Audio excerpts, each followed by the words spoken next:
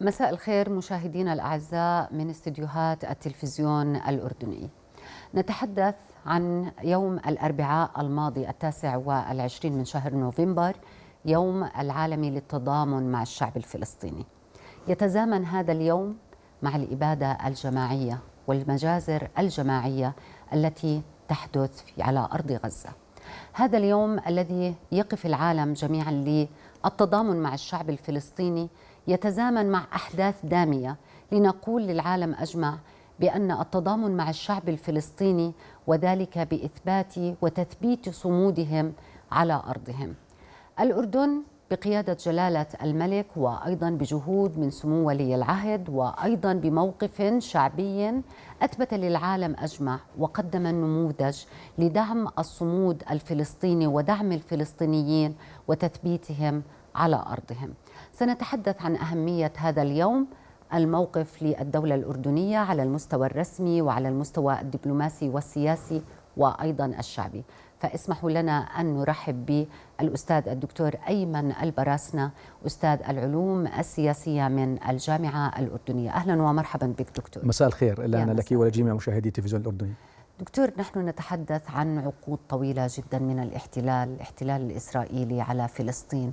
كيف تصف لنا هذا الاحتلال؟ وكيف مرت هذه السنوات من يعني انتهاك تلك الحقوق سواء انتهاك الأرض وانتهاك الشعب سلب الحقوق وأيضا المحاولة في التهجير.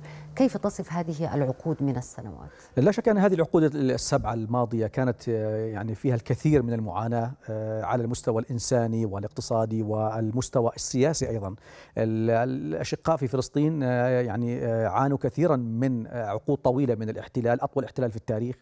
وهذا الاحتلال صراحة منعهم من الكثير من الحقوق وفي مقدمتها الحرية في الحياة وحرية أيضا بناء دولة مستقلة كما هي باقي الدول. 75 عاما من الاحتلال مارست فيها إسرائيل الكثير من الاعتداءات المتكررة والاستفزاز للشعب الفلسطيني. إذا قلنا الاستفزازات الإسرائيلية في الحرم الإبراهيمي الشريف في القدس في المخيمات المختلفة في كافة مناطق الضفة الغربية وقطاع غزة. إذا فلسطين صراحة عبر هذه العقود الطويلة عانت كثيرا من ممارسات الاحتلال سواء كان على مستوى الاعتقالات أو الاقتحامات أو على مستوى الحرمان من الدخول إلى إلى الحرم الإبراهيمي التضييق على المواطنين الفلسطينيين.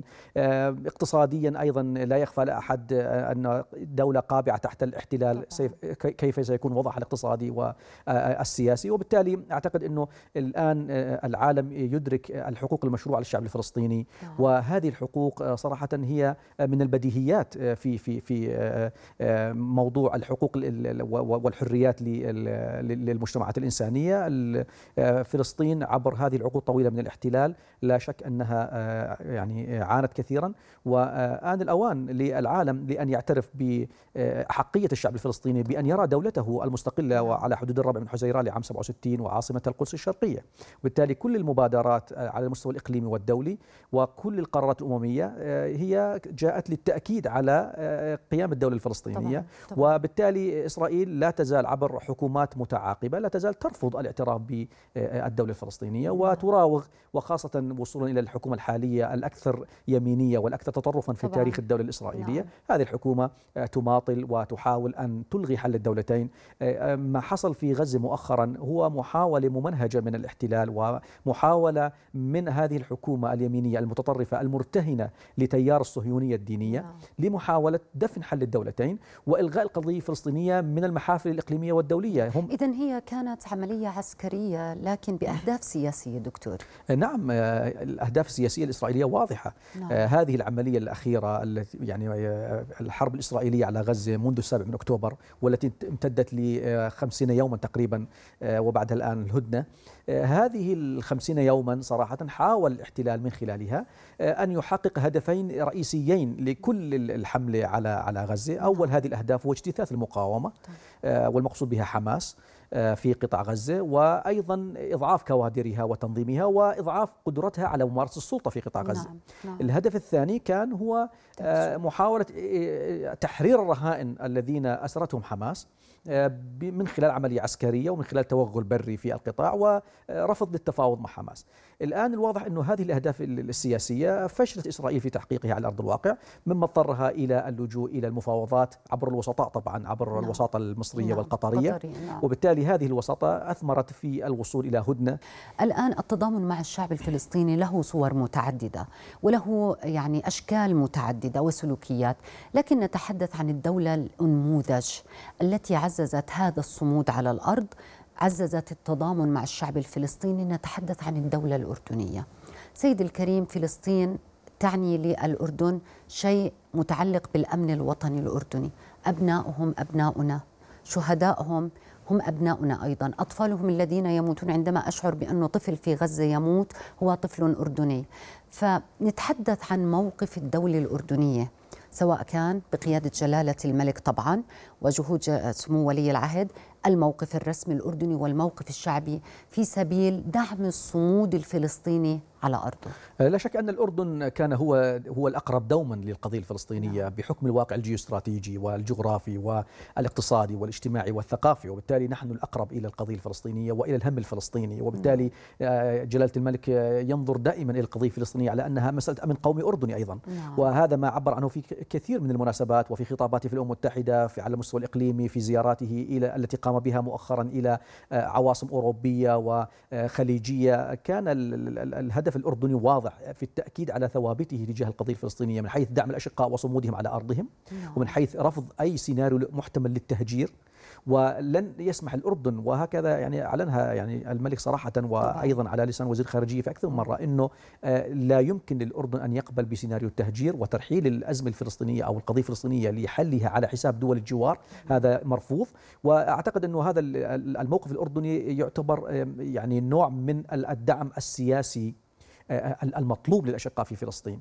آه، لابد أن يقف الأردن كان هذه الوقفة آه، بالفعل تعزيز الصمود للإخوة في فلسطين نعم. على أرضهم ولإرسال رسائل سياسية أيضا إلى الداخل الإسرائيلي وإلى الغرب أيضا وعلى رأسهم الولايات المتحدة الأمركية نعم. بأن الأردن سيبقى مساندا للأشقاء في فلسطين وحتى نيل حقوقهم المشروعة على أرضهم وبالتالي الأردن وقف يعني وقفة صراحة فيها الكثير من الدعم السياسي والمعنوي والدعم أيضا في في في الخطاب السياسي طبعاً. الموجه للخارج طبعاً. الأردن ينتهج سياسة خارجية آه، قوامها الاعتدال والوسطية ومع ذلك الأردن يتخذ من القضية الفلسطينية أولوية في أجندته الخارجية نعم. نعم. وبالتالي دائما في كل المناسبات حتى في مؤتمرات التي كان يحضرها الملك والتي تتحدث عن التنمية مؤتمر جد للتنميه وكان كان يتحدث عن القضية الفلسطينية نعم. وأنه لا أمن ولا تنمية ولا استقرار في منطقة الشرق الأوسط دون إيجاد حل عادل ودائم ومنطقي للقضية الفلسطينية نعم. اذا الأردن عبر هذه المواقف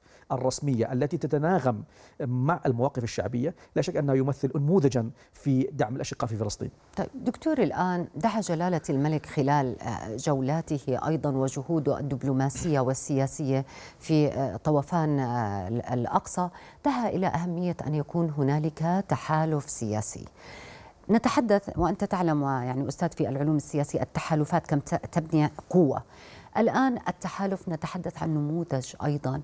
لهذا التحالف بين مصر الشقيقة مصر والأردن في سبيل فعلا التضامن مع الشعب الفلسطيني وإعطائه حقوقه والوقوف في صد فكرة التهجير التي تقوم بها إسرائيل أهمية أن نبني على التحالف الأردني المصري كم هو ضروري؟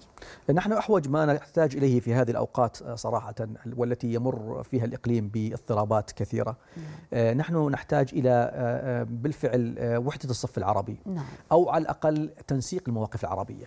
وهذا ما كان يعني الأردن دائما يسعى له على الدوام. الأردن وعبر يعني سياسته الخارجية الوسطية المعتدلة المتزنة في المنطقة والتي هي موضع تقدير ومحل احترام من من قوى الإقليم ومن القوى الدولية وعلى رأسهم الولايات المتحدة الأمريكية.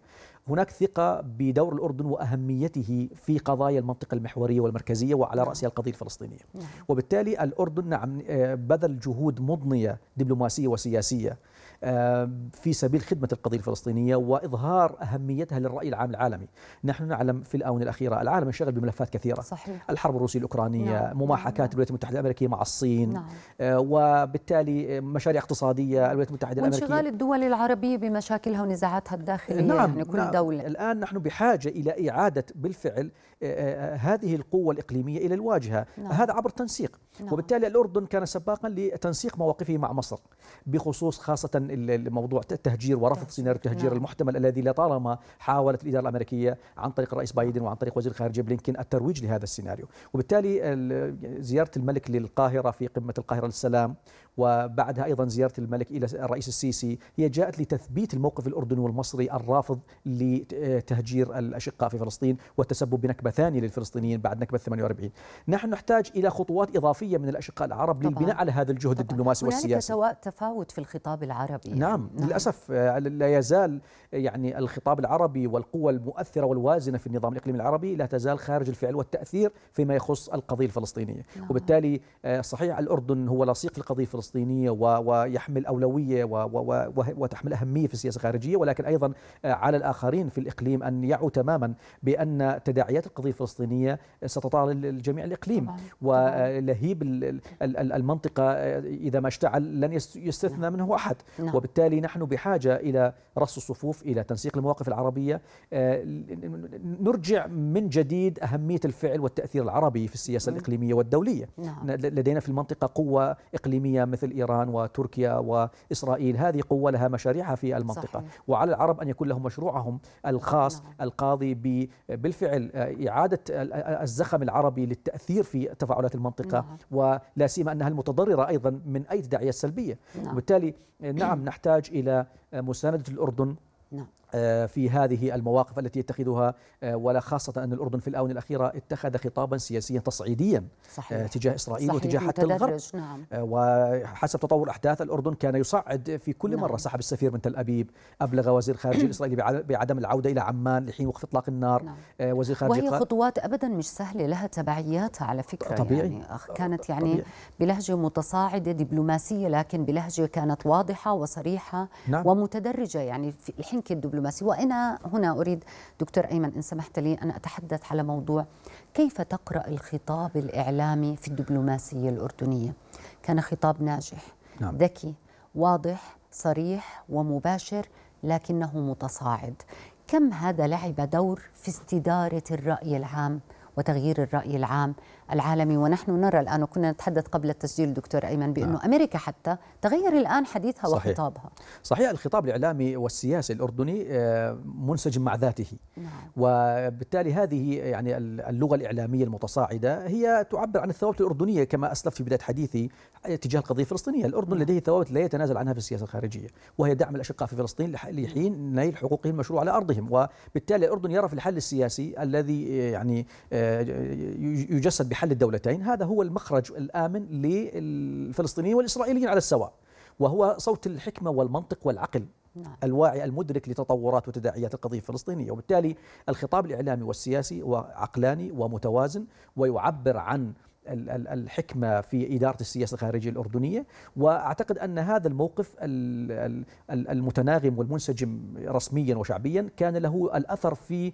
أيضا التأثير بالقوة الفاعلة على مستوى نعم. المنطقة وعلى المستوى العالمي الخطاب الإعلامي الأردني واجه قبولا أمريكيا وغربيا وتفهما نعم. أيضا لمخاوف الأردن والتي لطالما عبر عنها جلالة الملك في أكثر من مناسبة على المستوى الدولي من أنه من الضروري بمكان إذا ما أرادت القوة الإقليمية والدولية الاستقرار في منطقة الشرق الأوسط والتنمية وإدماج إسرائيل في المنطقة فلا بد أن يكون هذا عبر حل سياسي للقضية الفلسطينية طبعا.